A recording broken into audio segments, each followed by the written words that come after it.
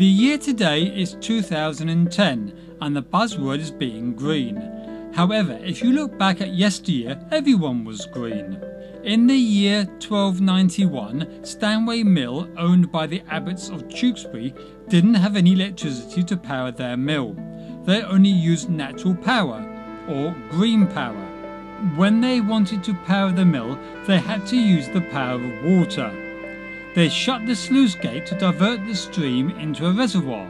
An overflow chute enabled the excess water to be diverted back into the stream.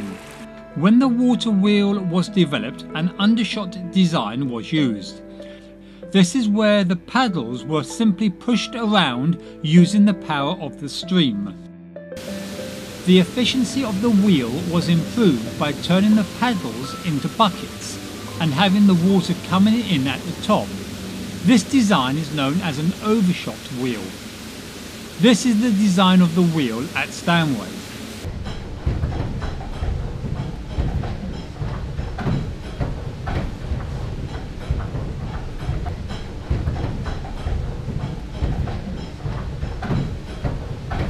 The grinding of the corn is achieved by rotating a large flat stone on top of the base stone.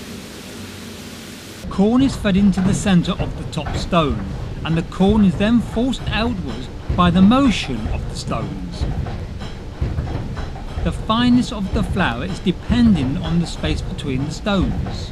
Paddles on the stones would then scoop the flour up and push it through the holes in the floor. The ground flour would then fall down a chute into a bag. The bag is then sealed and ready to use when required. Water wheels were still in commercial use well into the 20th century. However, modern hydroelectric dams can be seen as the descendants of the water wheel as they take advantage of the movement of water downhill.